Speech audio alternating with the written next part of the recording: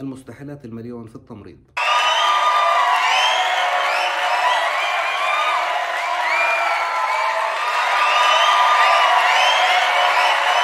السلام عليكم ورحمة الله. أنا محمد ناصر أبي يوسف. هاي قناتي مذكرات ممرض نتكلم فيها عن التمريض مهنة العظماء. لو أنت مهتم بالموضوع hand washing إلبس gloves ولا تنسى ال mask وتفضل معنا. مستحيل يمر رئيس القسم من قدامك وأنت بتشتغل ومعجوق ومش فاضي تحك راسك. لازم يمر بعد ما تخلص شغلك وتشلح الجلافز وتغسل إيديك وتعمل لك مج نسكافيه ويجي يقول لك ما شاء الله من الصبح قاعد.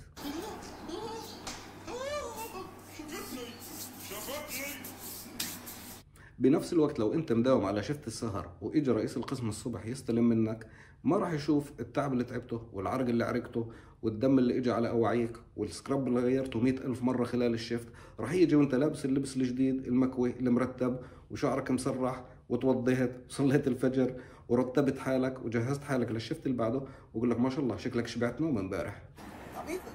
في الطوابق مستحيل يجوا الاطباء مع بعض. لازم كل ما يطلع واحد يجي الثاني. وكل ما بدك تكتب كلمة أو تعطي ابرة لمريض ينط لك واحد هسه بدي أشوف مريضي.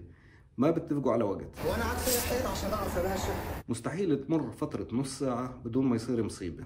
لو أنت قعدت لمدة نص دقيقة وحبيت تأخذ نفس لازم يطلع لك ثلاثة خروج خمسة دخول واحد منتقل من قسم ثاني لقسمك وواحد منتقل من قسمك لقسم ثاني وثلاثة خروج على مسؤوليتهم ومرافق بده تقرير ومرافق ثاني بده إجازة ومرافق رابع بده تقرير إنه كان مرافق مع المريض تبعه وثلاثة شاورما واثنين بيبسي دايت. ما بتيجي المصايب ولا بضيع مفتاح الناركوتيك ولا بصير ال CPR إلا بنص العجقة. أنا ناقص يا أخويا.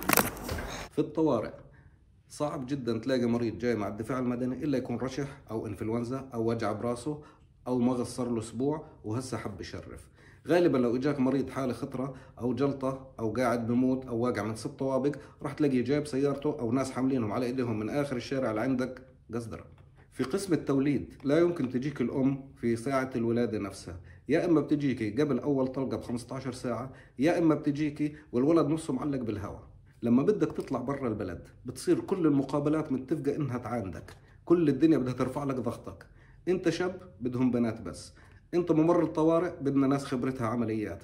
انت خبرتك ICU adults بدهم ناس خبرتهم ICU pediatric انت زلمة خبرتك غسيل كلى بدهم ناس خبرتهم نفسية. لو انت متجوز العقود كلها عزابية. ولو انت عزابة العقود كلها couples. ولو انت ممرض ما بدهم إلا قابلات. في اعلام تكونون هنا في الشغل بص كده إحنا عايزين بنات. بنات. يا حبيبي والشباب كمان؟ بص أهو. هو بيقول لك حسن المظهر.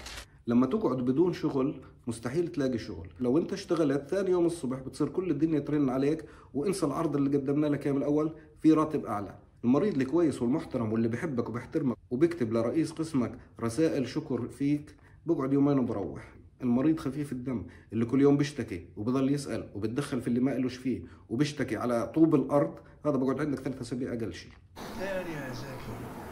المريض الغريب اللي عمرك ما شفته ولا بتعرف قرعة أبوه منين ما بصير معاه أي مشكلة.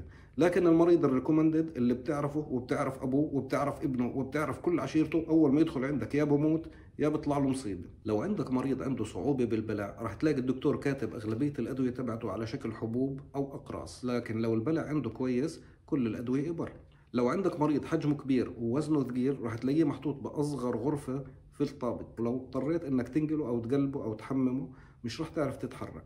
تخيل لو صار له CPR مثلا كيف الغرفة هاي بدها تتحمل سبعة ثمانية اللي هم ال CPR team؟ حتى لو خلصت اللي عليك وأعطيت كل الأدوية وكلمت كل المرضى وشرحت لهم عن كل شيء وكلمت كل الأطباء ودخلت في كل ال round ات راح يطلع لك إشي تافه صغير زي ال remote control. كل شوي مريض يقول لك ال remote control ما بيشتغل. وفي بعض المستشفيات كل الطابق شغال على remote control واحد راح تضل كل دقيقة تعطيه لغرفه مشكلة التكييف. غالبا التكييف في بعض المستشفيات ما إلوش غير درجتين بس يا إما برودة القطب الجنوبي يا إما حرارة غرف الساونا.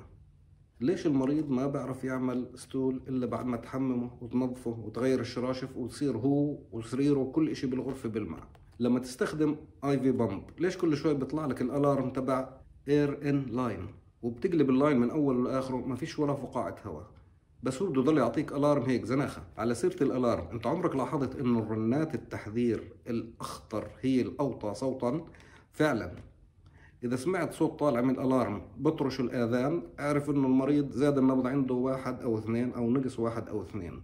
لكن لو صار عنده cardiac arrest راح أقول لك تي ليش لما تنادي حد عشان يساعدك فجأة ال shift بنام الموجوع ببطل موجوع المريض اللي كان ناوي يضل فجأة بصير بده يروح المريض اللي كان طالع من عملية بحط راسه بنام لثاني يوم ما في حدا جعان ما في حدا موجوع ما في حدا عنده مشكلة. في الآخر بقول لك أنت ليش مناديني؟ ليش كل وحدة دم بدك تعلقها؟ بدك تحط ال IV set وتكتشف إنك خزقت وحدة الدم. في العيادات الخارجية ليش المريض بضل ساكت إن شاء الله ساعتين؟ ولما يكون فعلا هسه اجى دوره بعصب وبقول لك ليش ما ناديتني لحد الآن؟ ولما تقول له أصلا أنت دورك هسه بالضبط بقول لك لولا رفعت صوتي ما كنتوش دخلتوني. ها؟ وين المدير؟ وين المدير؟ يا شويش يا مو... اسماعيل ياسين يا مدير. هذه النقاط كلها حسب وجهة نظري. وإذا عندك أي شيء نسينا نحكيه اذكره بالتعليقات. لو عجبك الفيديو لايك للفيديو اشتراك بالقناة فعل زر الجرس عشان يوصلك جديدنا أول بأول. واستنوا الفيديو الجاي. سلام عليكم.